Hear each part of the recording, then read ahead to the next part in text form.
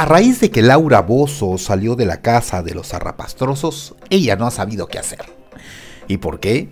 Porque Telemundo le ofreció a ella trabajar dentro de sus instalaciones con el programa Que pase el desgraciado. Que en este caso sería Que pase la desgraciada. Porque nosotros hemos visto cómo Laura se ha vendido dentro de la casa. Y obviamente, pues, Telemundo dijo, sáqueme este estorbo de acá. Y no la quiso contratar. Después se fue a Imagen Televisión a dar lástima y Alex Caffey dijo que Imagen Televisión le iba a dar una oportunidad. Ahora ella quiere girar por todo el planeta, eh, del planeta Tierra haciendo giras para conquistar al público que perdió. Esperando que todos en casa estén súper bien, Rodolfo del Prado viene a su plataforma una vez más a raíz de que Laura Parece que está desesperada y que no quiere pasar desapercibida dentro de la televisión, pero que es demasiado tarde. ¿Por qué? Porque se vendió mal. Y ese es el gran problema que tuvo Laura Bozo. Y para eso tenemos un invitado especial dentro del programa y le vamos a preguntar. Quiero invitar a todas aquellas personas que ingresan por primera vez a esta plataforma a suscribirse a mis canales adicionales que son Rodolfo del Prado Amor Rodolfo del Prado, TV con Fuego y Rodolfo del Prado, el hijo del rey sin censura. Este último es el canal principal. También queremos decirle al público, obviamente, que se suscriban al canal y acción de la campanita. Y acá tenemos a Coco. Coco, dime, cuéntame, ¿qué opinas de Laura Bozo? Es una desgraciada. Ah, es una desgraciada, dice. ¿Por qué, Coquito? Cuéntamelo todo. Porque Laura Bozo se vendió bien feo en la casa de los arrapastrosos. Ahora nadie la quiere tener. Ah, sí, pero está haciendo TikTok, ¿ah? Uy, no sabes, increíble realmente. Mm, bueno, hasta que vengan las pelonas y se la quiera llevar. Ay, qué desgraciada que eres, maldita. Pero en fin, se llama Coco, pero también decimos maldita. también quiero decirle al público que eso le importa y que obviamente se puedan suscribir al programa solamente accionando la campanita. El día de hoy tenemos a Laura Bozo, que obviamente no ata ni desata. Y Coquito, quiero que te despidas del público. Nos vemos, público, bueno, cuídense. Like, like, like, like. Ya ves, tienen que comenzar a dar like dentro del programa. Así que por ese lado, ¿qué les puedo decir, mi querido público? Recuerden que aquí también se encuentra mi PayPal. Cualquier donativo que quieran hacer lo pueden hacer por medio del PayPal. El día de hoy empezamos y comenzamos a hablar lo que Laura Bozo ha hecho dentro de TikTok.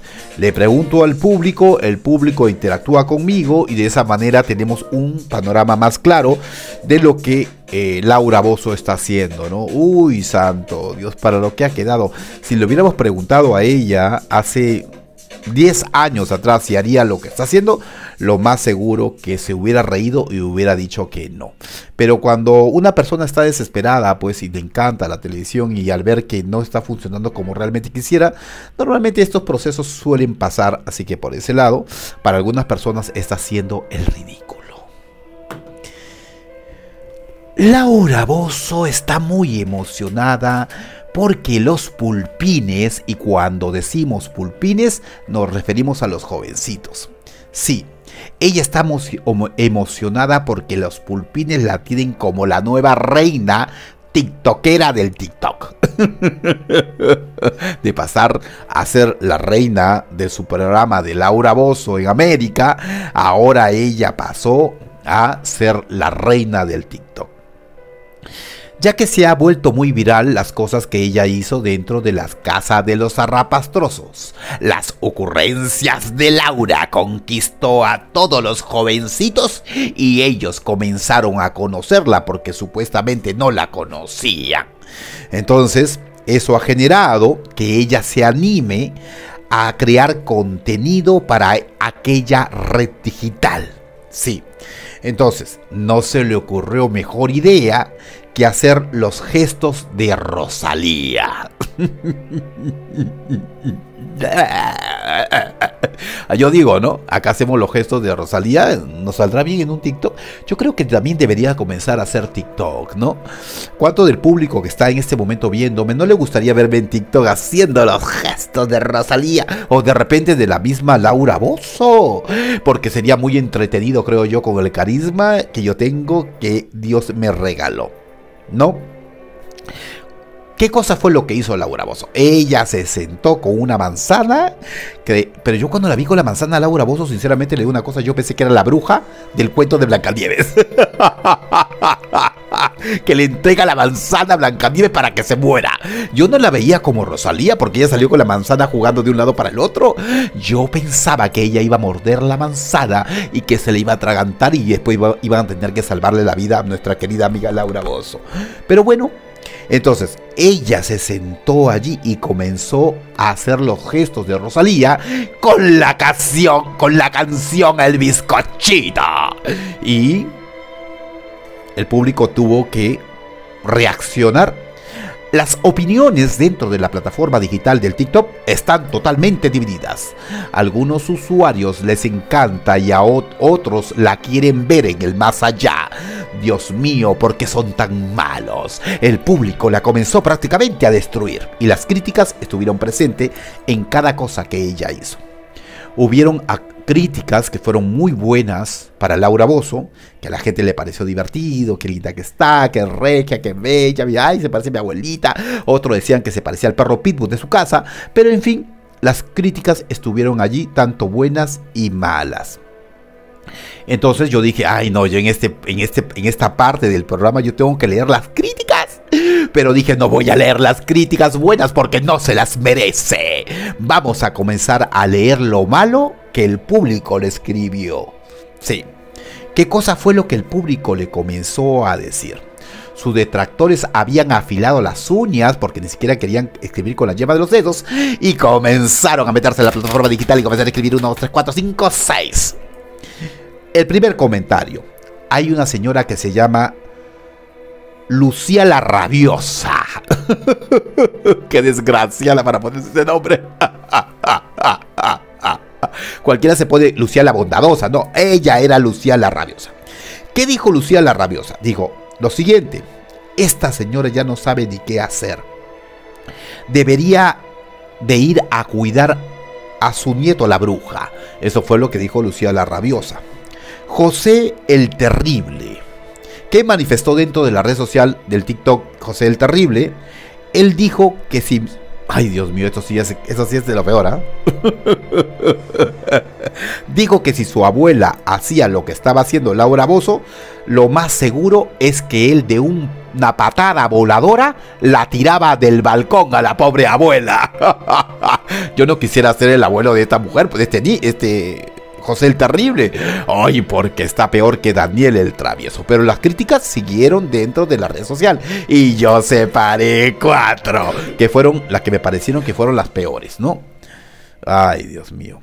Carlota la Aguantada. Hoy también esos nombres que se colocaron estos personajes. ¿ah? Aguantada está Carlota.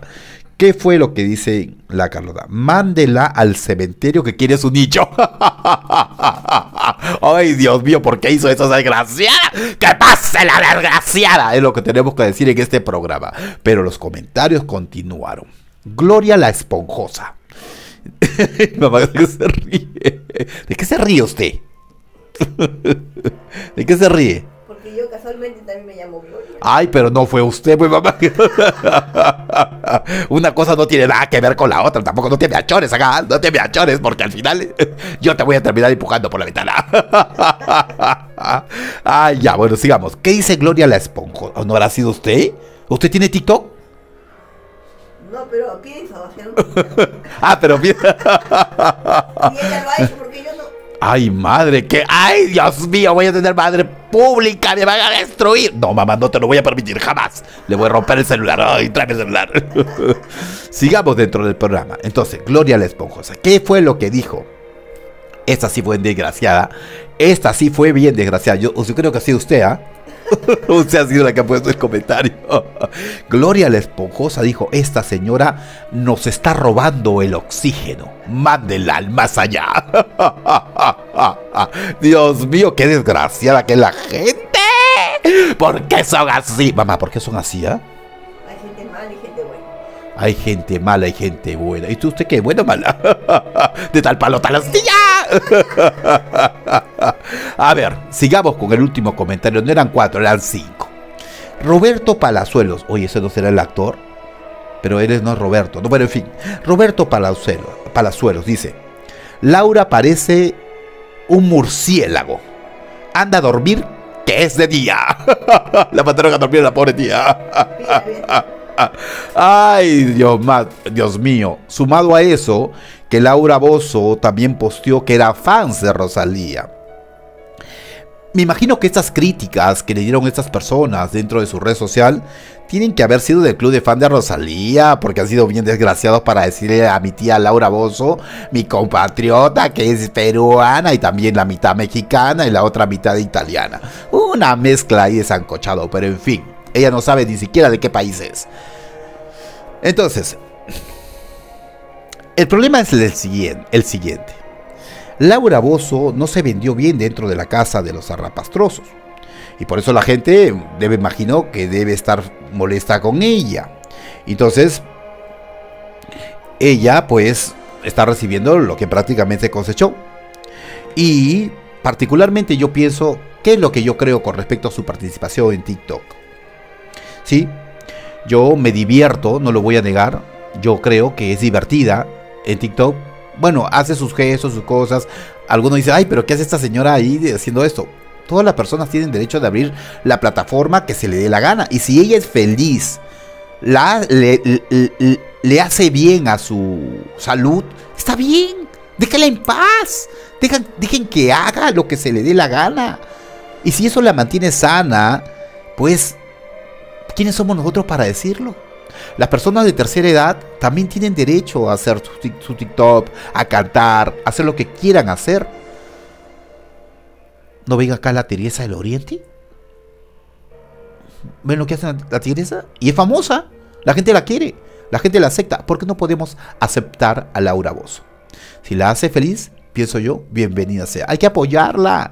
Hay que comenzar a entrar y volverla a destruir. Igual, vistas son vistas, ¿no? Mentira, apoyémosla. Démosle un dedito arriba, dejemos un buen comentario, recordemos que todos vamos a llegar a viejos y de esa, ma- oh perdón, dicho, todos vamos a llegar a la tercera edad, ¿no? Entonces hay que tener cariño por nuestros adultos mayores, aunque Laura después como se vendió como que no se lo merece, pero igual pues hay que tener un poco de paciencia. Y al final nos va a hacer sacar una sonrisa y en TikTok siempre va a haber gusto para todos. Así que por ese lado, ahora van a decir, ay no, lo que pasa es que como ella es peruana, este le está apoyando y quiere quedar bien con su compatriota. Yo no quiero quedar bien con nadie. Yo lo único que estoy diciendo es la realidad. Hay personas que entran a TikTok y hacen una serie de cosas horribles y la gente tiene su público, ahí está mirando. Hay personas que hacen cosas bonitas y a la gente le gusta. Hay personas de maquillaje, hay personas que hacen cosas de- dentro del trabajo y un sinfín de cosas. Una abuelita, una abuelita que entre, una mujer de la tercera edad que entre a TikTok, pues, ¿qué les digo, no? También tiene derecho. Ahí tienen a Erika Buenfil, que fue muy criticada y que es la reina del TikTok. Laura Bozó se podría convertir en la reina también. Pero en fin, pasen un lindo domingo. Diviértanse. Ay, esta se me va a ir al otro lado, creo yo. Ay, ¿qué hacemos? Fórmula 44 con silencio, el remedio efectivo para la tos. Mamá, de acá nos vamos a la farmacia. sí, porque hay que comprarle algo para la dedo. No puede estar tosiendo así. Ay, mamá, parece que ha sido un perro que lo recogió del... Ay. Aquí yo me juego con mi mamá como ustedes no tienen idea, ¿sí no, madre? y es la engreída. Ay, era engreída de esta casa. Allá nos fuimos a comprarle su tortita. Ay, ¿verdad, mamá? ¿No comió su tortota? Una torta entera. ¿Qué? Ay, que está muy cara. ¿Me sale? Creo que no voy a tener que mandar a su casa porque no puede seguir aquí. ¡No! sí, mamá, ¿qué tal, ¿qué tal le pareció la torta? Muy rica, muy rica. ¿Sí? deliciosa. Sí, estuvo buena, ¿no, mamá? Está buena, mejor dicho, porque todavía hay... va a comer, me imagino, más tarde, ¿no? Su tortita. Ay, hay que llevarla a comer su pancito con chicharrón. Y ella quiere ir a pasear, quiere ir a la playa. Pero si la playa está acá a la vuelta, váyase caminando. Ay, no, madrecita bella, te quiero. ¿Sabes que te amo, no, mamá? Sí, hijito, sí, también. Ay, mi mamá es la muerte. Pero en fin, ay, yo la disfruto como no tienen idea, ¿no? Y más cuando le estuvo sufriendo del cáncer, yo se los he comentado. Entonces uno tiene que valorar siempre a su madre. Acá la friego dura, ay, no saben cómo le doy alma a la pobre mujer. Pero a ella tiene que aguantar, yo soy su peloncita. Mamá, cuando yo nací era así de pelón. ¿Cómo? Cuando yo- usted me ha dicho que cuando yo nací era peloncito, ¿no? Bien pelón, Bien pelón, o sea, no tenía pelo. hermoso, lindo. Mm, hello, ¿qué le parece? Eh, mire para lo que ha quedado ahora, mire. ¿Sí o no, mamá? Mire lo que ha quedado ahora, mire lo que ha quedado. Pero, en fin, cosas. me preguntan, ¿no? ¿A quién te parece? ¿A tu papá o a tu mamá? Ay, no, no, mi papá no. Me parejo a mi mamá. Qué lindo. Ay, mamita, te quiero. En fin. Un abrazo para todo el público, los quiero mucho, diviértese, pase un lindo domingo, yo lo voy a pasar con ella. Así que mañana la regreso a su casa. ¿Sí o no, mamá? No es que tiene sus perritos. Mamá, ¿cuántos perros tiene? Tres, ¿no? ¿Perro? Sí. Hey, Diga tres, mamá. diga. bueno, es que tres son de ella y los tres son de mi hermano que vive con pero ella. hay dos adoptadas. Aparte. Claro. Dos No mientas, son ocho. son Ah, ocho. diez. Ah, son diez. bueno, mi mamá ama los perros, su casa es muy grande, así que por ese lado, ¿qué les digo? Le mando un beso, cuídense, pársense bien, diviértanse con su madre y tengan mucha confianza, es importante eso. Y quiéranla y adórenla como debe de ser realmente, porque la vida es muy corta para desperdiciarla en odios y conflictos. Hay familias que se odian y se detestan, ¿no? Y hay hijos también que odian a sus madres, no hagan eso. Les mando un beso, cuídense y nos vemos. Bye bye. Chao.